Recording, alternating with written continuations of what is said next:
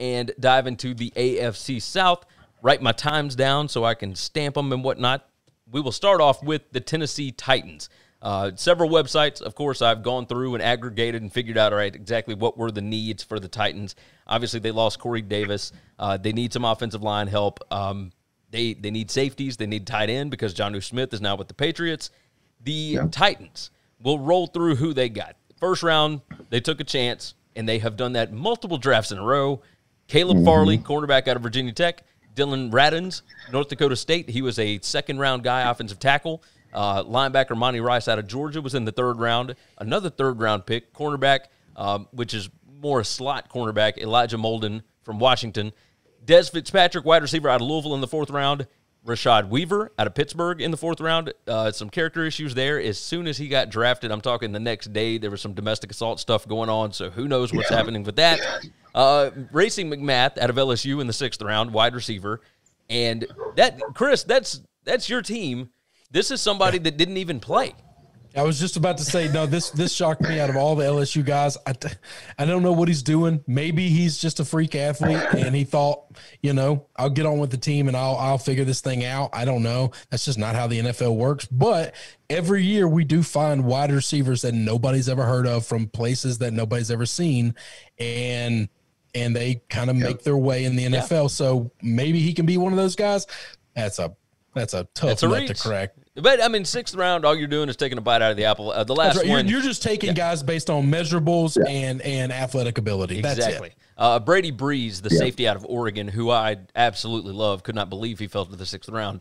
Um, so let's let's hit this up. Let's talk about it. In the first round, Caleb Farley was the was the chance that they're taking worth the risk because obviously he's had two back surgeries. Uh, there's a reason he fell to 22, but he if if he stays healthy, which is a big if, he is the most talented cornerback in this draft. Do y'all agree? Is he healthy right now? Yeah, hundred percent. Yeah, he's healthy okay, right now. So he is healthy. Yeah, I mean, my thing with it, it's just weird. So here's what the Titans do. The Titans actually had three good cover corners. Their secondary wasn't bad because their corners were bad last year. They were bad because this team had a historically bad pass rush. They had the worst sack rate and pressure rate of any playoff team since 1970, or second worst, I think, like the 91 Bengals were worse. Something, something crazy like that. So then they go out they get rid of all three. Adoree Jackson, shutdown corner when he's healthy. I know he's been battling injuries. Malcolm Butler. I mean, we all know about Malcolm Butler. And Desmond King, whom they got in the slot, was really, really good for the Chargers. Didn't really get his footing with the Titans. That's because he's got to cover someone for six seconds. So then they come out here, they wipe out their corners like, oh, we need a cover corner. No, you need a pass rush. So now you go out and you draft a guy who you don't know if he's going to be healthy. Is the talent there? Sure. You do absolutely nothing to help your pass rush and you expect your defense to be competent. So you're still going to have a horrible pass rush. Now you're going to have a patchwork secondary and maybe relying on an injured rookie corner. Rookie corners don't generally translate well their first year. It's a tough position to get used to in the NFL. So for me, I'm not big on the Titans. I do like the tackle they took in the second round. They obviously needed help there. But for me, I thought the Titans missed the mark, and I don't see how they're going to be any better next year than they are this year with the moves they made. Do you think that so, the it, it, let me let me ask this right quick because I, I mean they had Vic Beasley, they had uh, Jadeveon Clowney, like they they had guys that have produced yeah. in the past. Do you think this has anything to do with scheme as far as not being able to get pressure on that quarterback? Well, I mean, a lot of it could be scheme, and I mean, the year before, their front seven was really, really good. Yeah, yeah, and they're just getting old. And Jadeveon Clowney, I'm so sick of J- Jadeveon, Jadeveon Clowney's crap. The dude holds out, thinks he's going to be some savior for some team.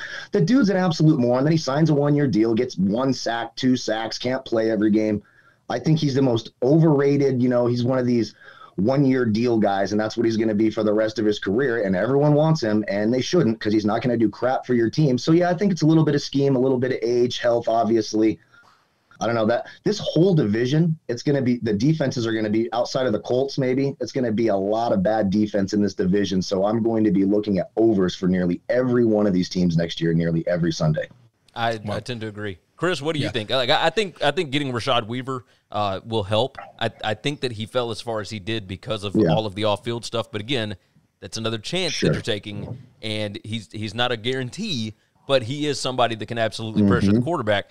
But I mean, who knows? Monty Rice, linebacker out of Georgia, he certainly can get pressure. He did it at Georgia. Um, you know, I, I think that they did okay. Um, I'm not. I, I will say that I don't like it, but I could see where if everything falls absolutely perfectly, it can be considered a good draft here in a couple of years. Uh, but I think it's going to take some time. I mean, they, they got some projects. Chris, what do you think? So, so I, I, I don't. This is a team that that obviously whiffed on their first round pick last year, and then they took another like so, like this was a, this is an organization that I think needed to say we need a marquee piece here that can sit and stand and make this team better for a long period of time, regardless of what position it is. Okay, and and I don't know that that that Caleb does that. The other thing is is I'm not killing them though for not helping their pass rush. At 22, there's nobody in this draft that's going to be a marquee pass rush player. This was the work. So so I'm yeah. okay with them going after the DB position. I'm okay with that. At 22, there were still other DBs that I think I would rather have that I think are going to play a lot longer than than Caleb. You know, but but that's because you have you've had the debacles in the draft that you've had the last couple of years. And and I think at some point in time, you you keep taking these boomer bust guys and they're all bust. They're all bust. And and at, at some point in time, you got to just take somebody safe, you know? Yeah, I, yeah. I, tend to agree with that. Like the uh, the Simmons thing from a couple of years ago, like he didn't get to play for almost the entire first season because of that torn ACL. Sure. But when he hit, like he's been pretty good on that defensive line. So mm-hmm. I, no, think and, that, and Kyle was right about their problems. Their cover issues have nothing to. Do you you and me talk about this all the time. I, it, you don't you don't cover the best cover corners in the league. All come from teams that can pass the rush the passer. Every one mm-hmm. of them. You get you might not get sacks, but if you're making that quarterback throw the football a, a, second or two sooner than he wants to, then that helps your DB so much. And and you just you you the way you help your covers is you get pass rush. It's how you stop teams from throwing the football is with a pass rush. It's not with great cover corners. Um, and and until they can do that, but that's going to take time. They're either going to have to next year get aggressive in free agency which this might be some weird reset year for them. I don't know. And get aggressive in free agency because you just can't worry about drafting all these guys because they don't all pan yeah. out. And then yeah. and then you also have to spend money in the draft on them. Yeah. Yeah. Yeah. All right. So, so you you like it or you don't like it, Chris? Uh so I did all of these divisions and I basically ranked every team how I like them and what they did okay. inside their division. I have them, I like them second, I think I like everything that happened in this division worse than every other division out there. Out of all eight of them, I think these four teams did the worst job out of anybody. It's entirely nice. possible. It's entirely yes, possible. Because the Titans, I don't like what they did, and I have them second, and that's only because Jacksonville, who we'll get to, got Trevor Lawrence. Sure. Yes. Sure. Let's uh let's move on.